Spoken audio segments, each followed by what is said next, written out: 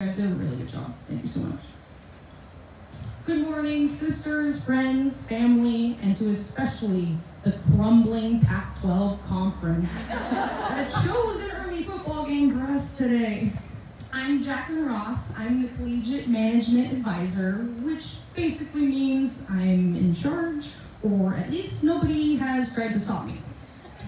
I'm thrilled that all of my annoying Facebook posts, emails, and Eventbrite notifications made their way to each of you. Thank you to all the members and volunteers, especially Madison Maka, Karen Green, Caroline, Cam, the whole crew, um, to help throw us on this event. I'm really glad we're all to get together and celebrate this house where we all grew up. At least this is where I grew up. I still remember when I walked by this house in the summer before I joined. I was 18, graduated from high school, and just wanted my pain to stop. The pain of loneliness, the cancer of heartbreak, and desperately looking for a place I could figure out who I really was. I wanted to belong, I wanted to feel loved, and I wanted to feel like I mattered. I don't know why you joined a sorority, but that's my real answer. My cover story is that my sisters were in other sororities on campus, and when I told them my start date at OSU, they told me I could be president. And from my attire, you can tell that prophecy came true. I didn't have any real friends in high school, and nobody knew who I really was. I burned a lot of bridges, and I wanted a fresh start at who I knew I could really become. But I knew what I wanted in order to change that. I wanted a group of friends who cared about me as much as I did about them, who would stick around through the hard times, accept change within themselves, and have fun along the way. That's what I found in Sigma Kappa, those four values. Service, friendship, personal growth, and loyalty. Friends who care, who work hard, and stay through the hard times in order to get to the joyous ones. That's what Sigma Kappa gave me. And those friends, my sisters, have changed me into someone 18-year-old me couldn't even fathom. They loved me just as I was, on my good days and my bad days. They encouraged me to be a leader, to share my personality, and they supported my first real years of me being a joyful, happy me, which made me a better friend, and daughter, and student, and employee, and now wife, and homeowner. And overall, they gave me the space where I could become the best version of myself. That I am more than enough, and that that is the true light of Sigma Kappa. To the current members, this event is just as much for us alums as it is for you. What I mean by that is look around. This works. Look around at the friendships new and old and see how these women have stuck around.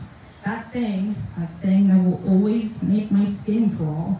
It's not four years, it's for life. But it's true. My friends, and you guys know I must give you a shout out. We love our friend group so much that when I suggested we do a Sisterhood of the Traveling Pants style game for the rest of our lives, they were all in. For the last three years, every two months, one person oversees something for our group to keep us connected. I never wanted to catch up. I always wanted to be caught up in their lives. You can't just walk down the hall, get dinner downstairs, or run into them on campus. Friendships are hard as you get older. You live time zones away, have crazy work schedules, and life just compounds as time speeds up. We've shared Zoom Bob Ross painting nights, spooky 5K walks, and a fun weekend in Denver. We haven't lost touch. When we talk about when we live together in the house, especially the best sleep in your life in the sleeping porch, all the time. These really are the best years of your life because it's the first time you get to be surrounded by people who love the version of you who you want to be. And the best part is that it doesn't have to end.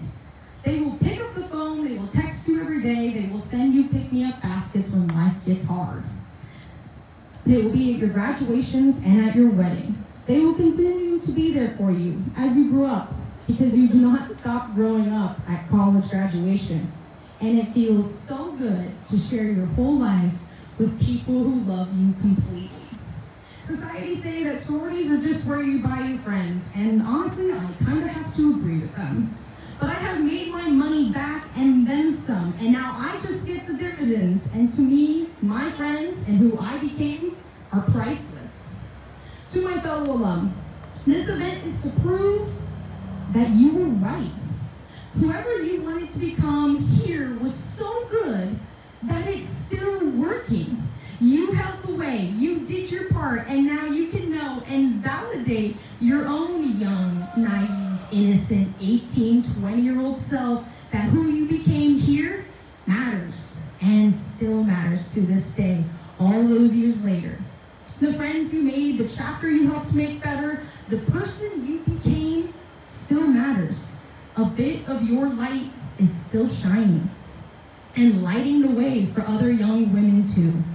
And with that, I need to tell you that this group of women in 2023, they are the best of us.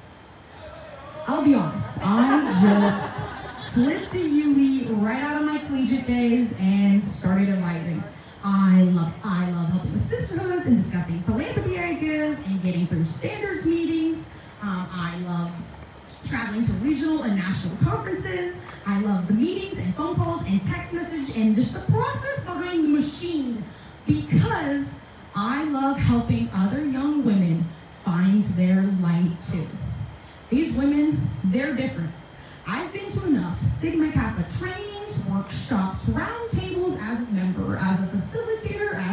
advisor on every topic under the sorority sun.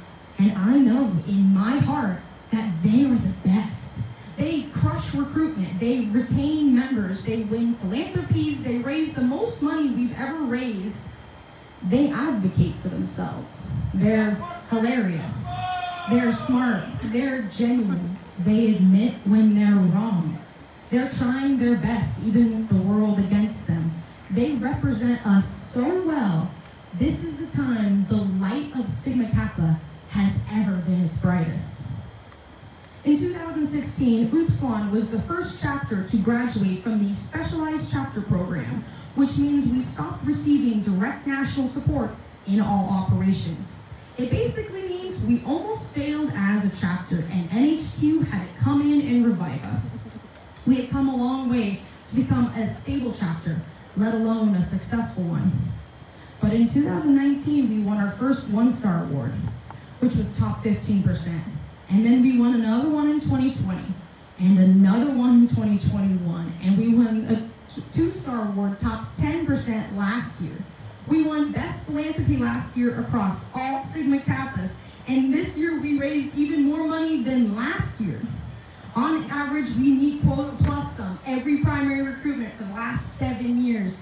The high character of these women, if there is going to be one year of Upsilon winning it all, the Founders Award, next year in the 150th National Convention in Boston, it's going to be this year. But the thing that brings us all together, all our memories and experiences and stories, might be the thing that sinks this chapter. The chapter has suffered since COVID, and for some of you recent alums, we were debt-free going into the pandemic. With average new member classes, in, classes averaging 40 to 50 pre-COVID to now barely breaking 20 members, it's not sustainable. The chapter is currently in $104,000 of debt from the Sigma Kappa Homes program, who manages the physical chapter house. With Oregon State's mandatory first year live-in requirement and recruitment not beginning until after classes start, that means the sophomore and junior classes do not cover all the beds in this house. Capacity is at 52, and with 20 members per classes, that leaves about 10 empty bed fees every year. One empty bed fee is $2,100 per term.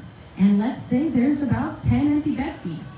The chapter will rack up $63,000 every year, forcing seniors to spend their entire collegiate experience in the dorms or in the house, which shrinks the senior class, reducing our alumna size, and then places more pressure on current members to pay the bills who already paid their part for. For context, there are only nine seniors and 10 live-out members. The live-outs have already lived in there two years and cannot split those empty bed fees let alone dig the chapter out. But there are some solutions to alleviate the pain. There are three remedies to get our girls to first place in Boston. One, we need to lower the bed count. There are volunteer boards and email lists, but we need to have a louder voice on the National Homes team that this campus cannot support this large of a house. We need to slash the budget. We can't increase current bed fees for live-ins moving forward because we are already the most expensive chapter on campus. For primary recruitment just this year, there's only 200 PNMs signed up. And with 11 Panhellenic sororities, with NPH setting quota to biggest house plus 20, the next class is still looking to be about 25 if everyone completes the process. We have to lower the bed count. Two, we need homes to continue with the plan to make this 100-year-old creaky house ADA compliant. We're on track, and with this, we can have freshmen, new members move in winter and spring term to help reduce empty bed fees throughout the year. Three, we need to bail them out. This is not at the fault of the collegiates. They are the ones who did believe in us when we recruited them. They wanted to be a Sigma Kappa who live in our home. They're the ones who want to keep the light shining. And they are the ones who are being punished. The pool of them is just not that big. And from empty uh, from COVID's empty bed fees, the chapter has $93,000 of past debt. And with five empty bed fees this year, they will add $11,000 each term. They have been paying $10,000 a term to clear it, but it's not enough to go back in time. We currently have raised almost $18,000 towards the debt, but we need to help them go all the way to the 104,000. Hopefully by filling those five spots, winter and spring term, they could probably manage a few empty bed fees for one term, but that's only if they have no debt. They'll never get out of this hole. And saying that the Alpha Phi chapter down in Eugene lost their house this year, it's not something that is out of the realm of possibilities. We are the eighth oldest active Sigma Kappa chapter and second oldest active chapter house still standing. This house was built in 1923 for Sigma Kappas, and only Sigma Kappas have lived here since. But this is not just a house on a college street. This is where our light began, where we ran home on bid day from the MU and got bigs and littles and went to dances and had Monday night dinner in the dining room. And we laid in the yard in the spring and pranked each other in our rooms during dry period. Where the boys across the street shaped the fire escape at midnight. Where we had sing practice and chapter meetings in the basement. Where we became the best version of ourselves for the first time and made the best of friends along the way.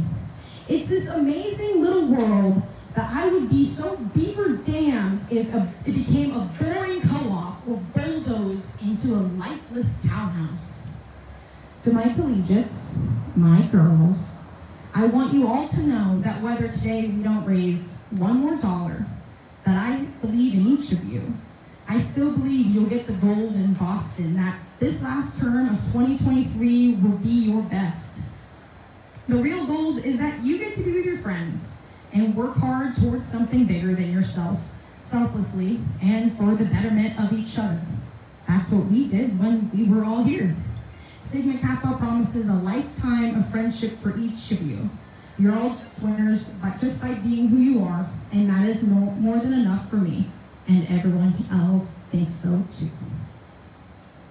I really wanted to put on this amazing event to celebrate the sisterhood and the amazing women it creates. It's to prove a point that all Sigma Kappas will serve one another in hard times so we can celebrate the joyous ones together, because that's what real friends do.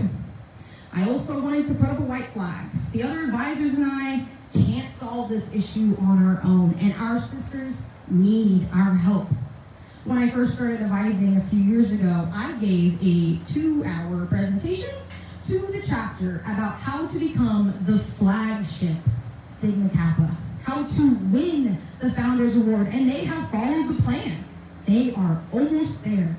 But to bring home the gold, the entire sisterhood needs to show up. If any place can make that miracle happen, If any place can bring me my lifelong friends, if any place can make me who I am today, it's here in Upsilon. I will be around with the finance advisor, Katie, who is also one of my best friends, and that's Sisterhood of the Pants group, for questions for those of you who want to help carry the burden or at least pass along the message of our white flag. It's been a hundred wonderful years at the 231, and I wrote this little poem for her. Here's to Upsilon, a century strong in a house where sisterhood belongs. For a hundred years, you've stood the test. In this sorority home, you became your best. Through laughter, tears, and countless nights, you shared your dreams and reached new heights. In the Centennial House, you made your mark, leaving a legacy that lights up the dark. With bonds that time can never sever, Sigma Kappa, you'll live on forever. So here's to 100 years of grace in this cherished, historic, special place. Raise your glasses high.